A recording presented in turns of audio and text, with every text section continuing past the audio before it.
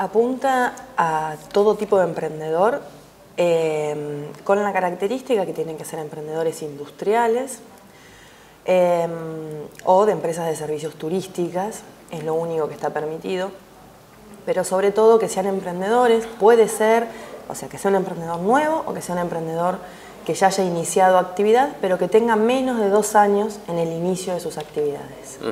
Ahora, mencionaste la actividad turística, que es, digamos, sin duda la actividad principal de la economía marplatense. En ese segmento, en ese rubro, ¿qué tipo de proyecto de emprendimiento podría eh, ser calificado para incluirse en Incubar? Pueden ser todo tipo de emprendimientos eh, de servicio turístico relacionado tanto con eh, guías de turismo, con poder hacer un hostel, con poder hacer un hotel, que también son muy bienvenidos en la parte de CEPIME, de la Secretaría de PYME de la Nación, aquellos proyectos que tengan algún tipo de innovación, que generen empleo, eh, con lo cual, o sea, el fomento de la realización, como ya les dije, de, un hotel sería lo ideal, digamos, en este caso de turismo. Principalmente, digamos, está trabajando con, también con todo lo que son emprendimientos industriales, que pertenecen a la cadena 2020, que se le llama este año, eh, que es bueno, una planificación que montó el Estado para determinados sectores principales de nuestra economía, en lo cual, digamos, tenés emprendimientos ahí que vienen muy bien para este tipo de programas relacionados con la parte metalmecánica, con la parte, todo lo relacionado con el sector madera, eh, tanto la parte de madera como madera muebles, la construcción de muebles también. Eh, allí también está todo lo relacionado con el sector textil, que es muy fuerte en Mar del Plata. Eh, hay mucha cantidad de jóvenes diseñadores también dedicados al sector textil, a la parte de indumentaria y demás. Y vuelvo a recalcar que nuevamente tienen que ser emprendimientos que tengan un determinado grado de innovación.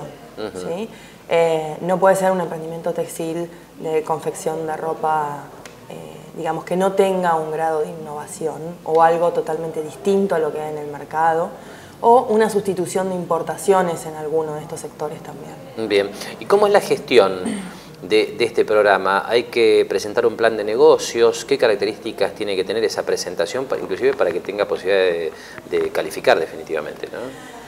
Primero lo que nosotros hacemos es, bueno, conocer al emprendedor, ir a ver su emprendimiento, ver de qué se trata y demás. Si vemos que califica por las primeras reglamentaciones que tiene ese pyme, hay que preparar un, pitch, o sea, un pequeño video de dos minutos en el cual el emprendedor cuenta cuál es su emprendimiento, de qué se trata y qué es lo que necesita.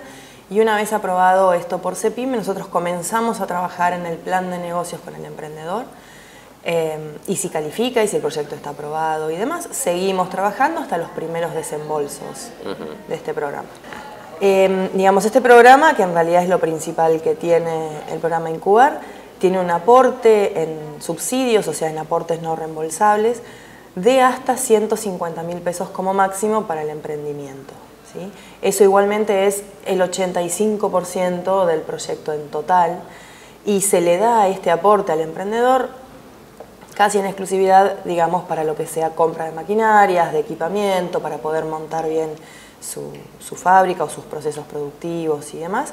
Em, también así se le permite eh, una parte y un porcentaje de asistencia técnica, si se necesita hacer un estudio de mercado o una página web, eh, digamos, o hay necesidad de contratar a algún consultor por algún tipo, bueno, en ese momento, digamos, en el proyecto se solicita una parte de subsidio para eso. Bien. Ahora, Miriam, eh, ¿quiénes pueden presentarse a este programa? Porque pienso que seguramente hay emprendedores que tienen ya alguna experiencia aprobada, algún emprendimiento exitoso que han puesto en marcha y que por ahí quieren iniciar otra actividad, pero tienen algún antecedente. O puede haber, por ejemplo, algún joven con alguna idea nueva, innovadora, que por ahí puede aplicar también al programa. Entonces, el planteo aquí es, ¿puede, eh, digamos, una idea en sus etapas iniciales y sin ningún antecedente como emprendedor tener posibilidad de calificar para este programa Incubar? Sí, sí, totalmente.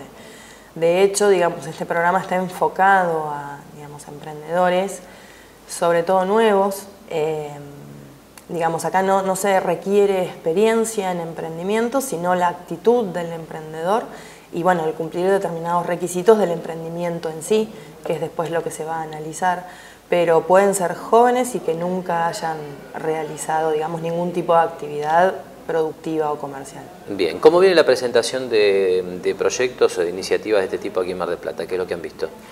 Venimos bien, venimos bien. Nosotros ya veníamos incubando determinada cantidad de emprendimientos con los cuales ahora estos emprendimientos que ya tenían en su poder un plan de negocios y demás, que son factibles de ser presentados en este proyecto, bueno, los estamos presentando, estamos en las primeras etapas de, preaprobación de estos proyectos.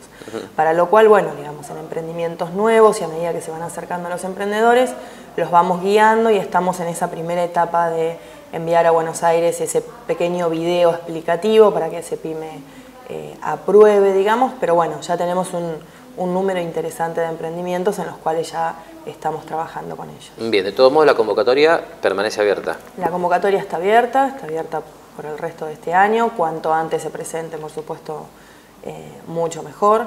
Eh, así que bueno, digamos, nosotros esperamos a todo aquel emprendedor que, que tenga una idea o ya en marcha o medianamente en marcha, como ya dijimos, menos de dos años de antigüedad, que es el único, el único gran requisito que se solicita, a que se acerque y lo asesoraremos.